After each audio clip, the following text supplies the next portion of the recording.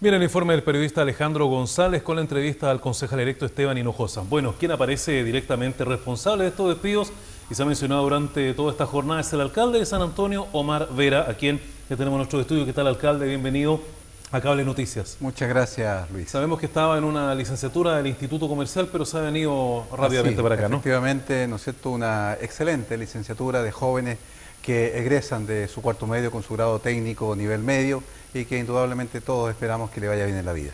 Esteban Hinojosa menciona en el contacto con Alejandro González que hay una persecución política. ¿Hay una persecución política de su parte en contra del funcionario municipal, alcalde? A ver, es extraño, ¿no es cierto?, la expresión del concejal. Eh, todos conocen mi historia y mi quehacer político y la conducción del municipio.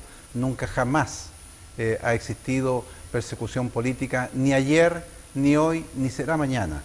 Eh, dentro del municipio tenemos una diversidad de funcionarios de distintas tendencias políticas y en su quehacer. Eh, lo único que nos preocupa es su rendimiento, su eficiencia y su compromiso con la gestión. Y en este aspecto, eh, ¿cuántos funcionarios municipales ya han sido notificados que no van a continuar ejerciendo su labores? Partiendo de la base que cuando ellos firman un contrato saben que tiene término el 31 de diciembre. A ver, efectivamente eso primero es lo que hay que aclarar. Eh, en, términos claros y precisos, eh, es extraño que se genere, ¿no es cierto?, toda esta polémica cuando todos los años, a diciembre de cada año, se producen términos de contrato porque los honorarios son así. Tienen una fecha de inicio y una fecha de término. Y lo mismo ocurre respecto del personal a contrata. Tiene una fecha de inicio y una fecha de término. Entonces, por tanto, todos los funcionarios que están en esas condiciones saben perfectamente que al 31 de diciembre, ¿no es cierto?, eh, se produce una desvinculación. Ahora, en lo particular, eh, la notificación que se ha hecho a, algunos eh, funcionarios es producto de informes provenientes de las respectivas jefaturas y direcciones. Eh, ellos son los que evalúan, reitero, los rendimientos y la eficiencia y el compromiso, ¿no es cierto?, con la gestión.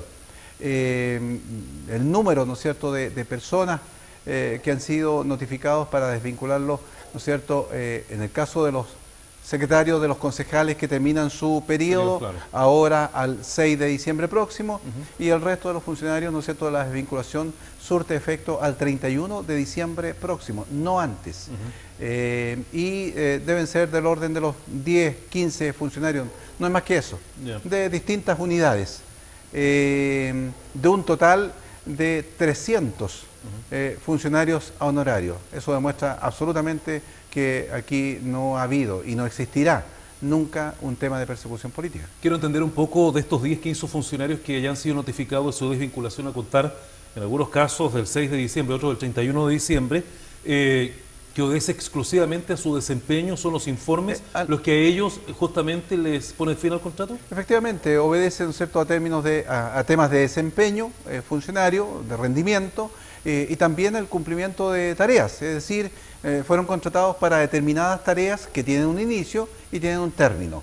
¿ya? Y si se terminó la tarea, eh, por favor, eh, ¿cómo vamos a seguir con ellos, ¿no es cierto?, dentro de la estructura municipal.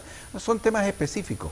¿ya? Pero, pero pudiera ser probable que a lo mejor, como dice el concejal electo Esteban Hinojosa, que gente que lo apoyó en su campaña han sido algunos de los despedidos, que a lo mejor se hubiesen preocupado más de la campaña que de su trabajo. A ver, quiero hacer presente que dentro de los notificados de término de contrato hay personas que también apoyaron mi campaña. Eso demuestra claramente de que aquí no hay persecución política. Es un tema de gestión y de tareas. No es otra cosa. Sí, más temprano algunas personas que justamente habían participado en su campaña lamentaban y mencionaban el hecho de que habían votado por usted y ahora recibían este, esta suerte como de, pago. Así. Claro, sí, es, un tema de cumplimiento de tareas. Eso no significa, ¿no es cierto?, que después cuando se reanuden las tareas en marzo o en abril del próximo año, los podamos nuevamente considerar eh, en un proceso de contratación. Pero eh, enero, febrero, eh, que no están, ¿no es cierto?, vigentes estas tareas, creo que no tiene sentido, ¿no es cierto?, el mantener una estructura de personal. Claro. ¿Van a haber más despidos en los próximos días? Em, al menos, ¿no es cierto?, no he tenido informes eh, de, ni de direcciones ni de jefaturas respecto de em, esta situación. no obstante, siempre está presente la posibilidad, ¿no es cierto?, de, desvincular personal. por decir un ejemplo, en el caso de salud, eh, eso es permanente. Eh, todos los meses hay desvinculación de personas, como también hay contratación.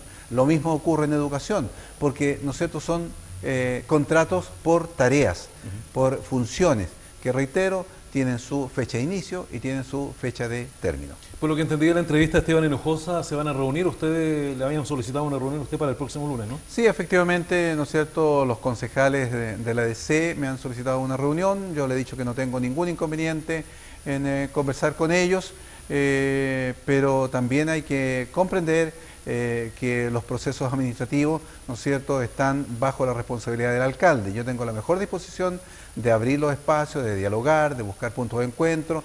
Esta temática fue conversada con la Asociación de Funcionarios Municipales, así que por tanto ellos están absolutamente al tanto de estos hechos. Perfecto, alcalde, muchas gracias por estar con nosotros. Muchas gracias a ustedes.